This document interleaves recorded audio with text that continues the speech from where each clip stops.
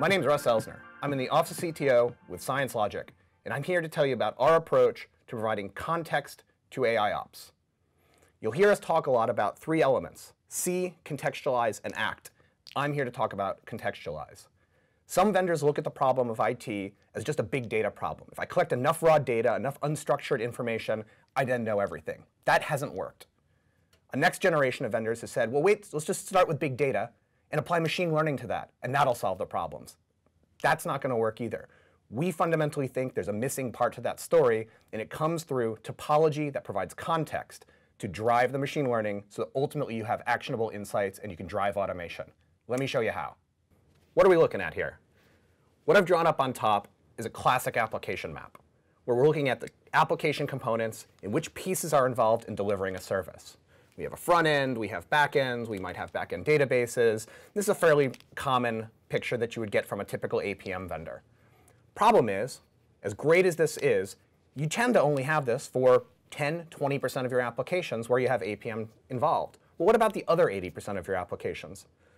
This is a very useful and critical part to the overall problem, and let's call this an east-west map, right? Because it goes east to west. So what's all the stuff below this? Every single one of these components has to sit in and be driven by a complex set of technology. Virtual, ephemeral, containers, network, storage. Let's dive in and see what I mean by that. This particular application component is maybe running in a container. Right? That container might be running in a VM. That VM sits on a hypervisor. That hypervisor sits on a blade. And that blade sits on a chassis. All of this has to exist with a network. And on top of that network, you tend to have virtual networks on top of it, whether it's SDN or VLANs. So you have a virtual layer to that network. On the other side of this, we have storage. That VM is provisioned to use a LUN. That LUN sits and uses a volume. That volume sits on a server. But think about this. That container isn't the only container there. It has all sorts of relationships neighbors, things that can affect it. That VM is going to be one of many VMs on that hypervisor. That hypervisor is going to be on that uh, be many, one of many hypervisors on the blades and in the chassis. That VM might be connected to this LUN, but there's lots of LUNs. That LUN sits on a volume. You get the idea that this is an interconnected web of dependencies. Each one has its direct relationships, but also neighbors that can affect it. And go back to this being a container. This entire infrastructure uh, hierarchy only exists for the length of that container's lifespan. If that container uh, gets spun down and another one gets spun up, an entirely different set of uh, infrastructure gets utilized with different relationships and different dependencies.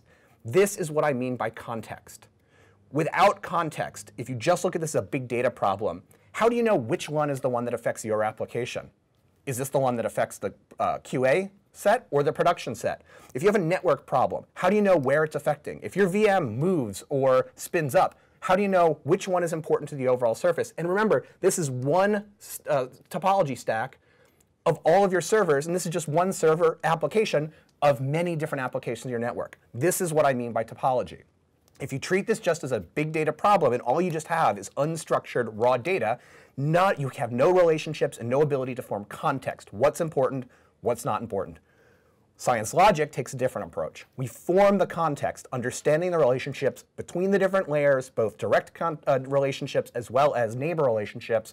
And this is what we use to feed the analytics and machine learning to create actionable insights. So let's go back and see how this all fits together. How does this help create an automation engine for AIOps? The first step is see. You have to collect data from all of these different technologies, all of these different components. And you have to use lots of different techniques. Sometimes it's polling, sometimes it's APIs, sometimes it's uh, logs, sometimes it's events, taking all of this data from all these different layers and fusing it into a clean data lake. So this is, at its beginning, a big data problem. Absolutely. But that's not the end. The next thing you have to do is provide context to that data. The data has to make sense. You have to align different data from different sources to provide a holistic view of each piece, and it's that piece's relationship with its neighbors and with the other layers.